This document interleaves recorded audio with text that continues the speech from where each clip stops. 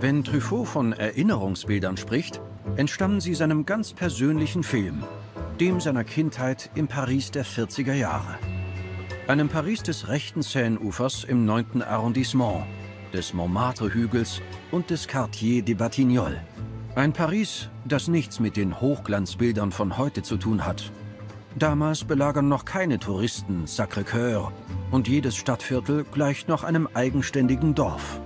Ein Ort der Freiheit und der Kinos. 1959 hält er diesen Ort in seinem Meisterwerk Sie küssten und sie schlugen ihn auf der Leinwand fest. Es ist der erste von fünf Filmen über Antoine Douanel, Truffauts alter Ego, der von Jean-Pierre Léo verkörpert wird. François Truffaut zeigt Paris auf eine nie dagewesene Art und Weise und schafft einen Gegenentwurf zu den Studiofilmen der damaligen Zeit, die in Kulissen spielen. Mit der Kamera fängt er seinen Blick auf das Leben ein, wie es sich auf der Straße abspielt.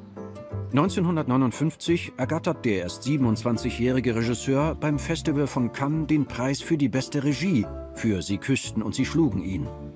Die etablierte Filmindustrie wird von der entstehenden Nouvelle Vague hinweggefegt. Es ist ein etwas verstecktes Viertel, unterhalb des Montmartre und nur einen Steinwurf vom Moulin Rouge und dem Place Pigalle entfernt.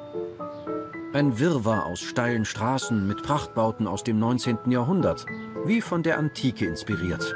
Sie bringen dem Viertel den Beinamen Neu-Athen ein. Ein Viertel, das von Künstlern sehr geschätzt wird und in dem gleichzeitig viele einfache Menschen leben. Kleine Händler, Handwerker und die sogenannten Loretten, Frauen, die auf den nahegelegenen Boulevards ihre Reize darbieten. Hier wächst der 1932 geborene François Truffaut auf. Es ist ein typisches Pariser Viertel, ein richtiges Postkartenmotiv. Doch diese pittoreske Seite hat Truffaut sicher nicht gesehen. Damals leuchteten die Häuserfassaden nicht wie heute, sie waren grau und schwarz. Genau wie Truffauts Kindheit in diesem Viertel nicht sehr glücklich war. Diese Lebensphase verarbeitete er in seinem ersten Film, Sie küssten und sie schlugen ihn, der hier gedreht wurde.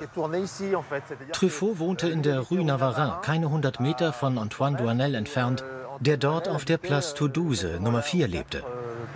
Alles wurde in der Nachbarschaft aufgenommen.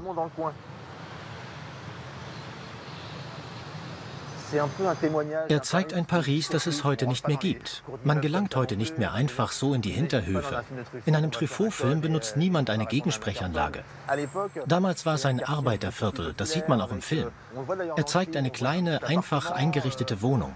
Die Eltern sind Angestellte und führen ein bescheidenes Dasein. Erstaunlicherweise ist es überhaupt nicht deprimierend oder schwarzmalerisch. Es hat etwas geradezu Poetisches. Von den Eltern vernachlässigt, tröstet sich der junge Truffaut damit, mit seinem Freund Robert durch das Viertel zu streifen. Robert teilt sein unglückliches Schicksal. Auch er ist sich selbst überlassen. Im Film wird aus Robert René. Wir verlassen das Viertel mit den engen Straßen, um ein wenig Weite zu finden. Das ist ziemlich symbolhaft, denn in Sie küssten und Sie schlugen ihn verstecken Antoine Douanel und sein Freund ihre Ranzen in einer Toreinfahrt am Anfang der Avenue Trudaine, weil sie die Schule schwänzen. Und mit einem Mal sind sie frei. Sie können einen Tag ohne die Eltern verbringen, weit weg von der Schule. Ihr Abenteuer beginnt. Das Abenteuer verbirgt sich an der nächsten Straßenecke. Die beiden Freunde eilen den Montmartre hinunter und erkunden unbeschwert die Stadt. Ähnlich wie Victor Hugos Gavroche schlendern sie über den Mittelstreifen des Boulevard Rochechouart, wo sich einst die Pariser Stadtmauer befand. Hier waren die Kabarets, Cafés und Varieté-Theater. Es war ein Vergnügungsviertel. Pigalle dürfte allen bekannt sein. Aber auch Jahrmärkte wurden hier aufgebaut, auf denen es allerlei zu entdecken gab, was Kindern natürlich gefällt. In Truffauts Film ist all das zu sehen. Der junge Antoine Douanel probiert eine beeindruckende Attraktion aus, den Rotor. Eine Art Trommel, die sich schnell um die eigene Achse dreht. Für ihn ist das ein wahrer Glücksmoment.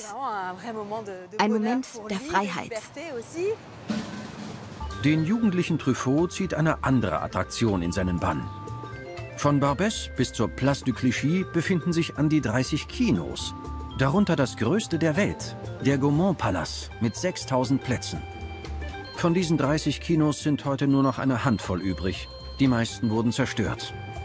In Barbès ist vor einigen Jahren glücklicherweise ein echtes Juwel aus der Asche auferstanden. Das Luxor. Das 1921 eröffnete Kino im Art Deco-Stil ist vom alten Ägypten inspiriert. In den 80er Jahren wurde der historische Bau geschlossen. Nach einer Renovierung konnte er 2013 wieder eröffnet werden. Heute hat das Luxor wieder seinen einstigen Glanz aus der Zeit, als das Kino noch die Boulevards beherrschte. Menschen aller Schichten gingen mehrmals pro Woche ins Kino. Euh, es war die wichtigste Freizeitbeschäftigung für die ganze Familie. Es gab noch keinen Fernseher und es kostete nicht viel. Man sah sich Kassenschlager in den schönen Seelen an. Damals beherrschte das Kino alles. Die Kinder waren oft im Kino, vor allem wenn sie pfiffig waren und sich durch die Hintertür reinschmuggelten. Dieser Kinosaal spiegelt den Geist dieser Zeit wider. Ein heimliches Vergnügen, dem sich der junge Truffaut begierig hingibt. Genau wie sein von Jean-Pierre Léaud verkörperter Protagonist. Drei Filme am Tag, drei Bücher pro Woche. Das ist damals die Devise des zukünftigen Regisseurs. Der besessene Beobachter lernt Dialoge auswendig und kann seine Lieblingsfilme Szene für Szene nacherzählen. Das ungeliebte Kind schrammt nur knapp an der Kleinkriminalität vorbei und seine Leidenschaft fürs Kino rettet ihn. François Truffaut ging sehr, sehr gern ins Kino und er begann sehr früh damit. Euh, er sagte immer, dass er das Abbild vom Leben dem echten Leben vorziehe. Er entschied sich früh für das Kino, weil er in diese Welt eintauchen wollte. Er nahm seinen Eltern übel, dass sie sich nicht um ihn kümmerten. In gewisser Weise hat das Kino seine Erziehung übernommen. Das Kino war sein Kokon, sein eigenes Universum. Ein paar Metrostationen weiter befindet sich der Lebensmittelpunkt von François Truffaut und seinem alter Ego Antoine Douanel, der Place du Clichy. Zwar steht der Gaumont-Palast heute nicht mehr, aber die Statue von Marshal Moncey, der Metroeingang und die Brasserie haben sich in keiner Weise verändert. Der Platz ist die Geburtsstätte der Nouvelle Vague. Hier entstehen die ersten Bilder aus Sie küssten und sie schlugen ihn. Dieser belebte, überfüllte Platz steht für das authentische, lebendige Paris. In den 50er Jahren sah der Platz etwas anders aus als heute. Damals waren die Gebäude viel dunkler, denn erst später wurde von André Malraux ein Gesetz verabschiedet, das die Eigentümer dazu verpflichtet, ihre Häuser alle zehn Jahre reinigen zu lassen. Alles sah hier also viel dunkler aus. Neben der Osman-Architektur fand man Gebäude im Stil der 50er. Hier lebten viele Handwerker und Händler. Und es gab auch viele zwielichtige Bars mit Mädchen, die die Kunden zum Champagnertrinken verführten. Das Viertel war ein wenig verrufen, was heute nicht mehr der Fall ist. Es ist sehr bürgerlich geworden. In den 50er Jahren, als François Truffaut hier lebte, war es noch ein Arbeiterviertel. In den Straßen des Viertels drehte er sein Hauptwerk, Sie küssten und sie schlugen ihn. Auf dem Place de Clichy spielt die Szene, in der Antoine sieht, wie seine Mutter vor dem Metroeingang ihren Liebhaber küsst. Der wirklichkeitsnahe Film ist mitten zwischen den Passanten gedreht. Es spielen keine Stars darin mit. Umso mehr können sich die Zuschauer mit den Figuren identifizieren. Die Hauptrollen werden von Kindern gespielt. Jean-Pierre Léaud und Patrick Offay alias René Biget. Er ist Antoines bester Freund. Euh, Auf der Place Clichy haben wir mehrmals gedreht. In der Nähe der Statue neben dem Metroeingang und an der Ecke zur Rue Forest, die hinter mir zu sehen ist mit dem Pfandleihhaus. Dort ist die Szene mit der Schreibmaschine entstanden. Euh, wir sind ziemlich oft hierher gekommen. Es war nur ein kleines Filmteam. Nicht immer hatten wir eine Genehmigung. Bei manchen Szenen kam uns die Polizei in die Quere. Es musste also schnell gehen. Wir bekamen für jeden Tag einen Drehplan und im Großen und Ganzen den Text, den wir lernen sollten. Aber nicht unbedingt Wort für Wort. Ich denke, man merkt, dass der Film einfängt, wie die Kinder damals gesprochen haben. Zum Beispiel benutzen wir oft das Adjektiv irrsinnig, das heute veraltet ist. Die Jungen würden das heute nie sagen, aber wir haben das spontan so gesagt. Fernab des Trubels des Place du Clichy liegt nur wenige hundert Meter weiter die Rue Colincourt. Mit ihrer Eisenbrücke überquert sie nicht etwa die Seine, sondern die ewige Stille des Pariser Nordfriedhofs, des Cimetière de Montmartre. Hier liegen Zola, Stendhal, Alexandre Dumas der Jüngere oder auch Sacha Guitry, den Truffaut sehr bewunderte. Der Friedhof ist ein Rückzugsort für den Regisseur, der die Literatur liebt und die Toten verehrt. Die Umgebung des Friedhofs ist oft in Truffauts Filmen zu sehen, vor allem in Sie küssten und Sie schlugen ihn.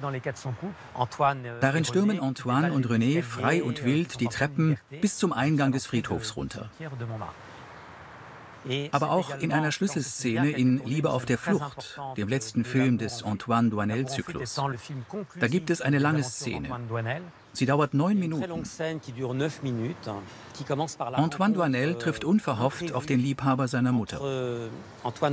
Der erzählt dem sprachlosen Antoine, dass seine Mutter ihn geliebt hat dass sie dieses Viertel sehr geliebt hat und deswegen auf dem Cimetière de Montmartre beigesetzt werden wollte.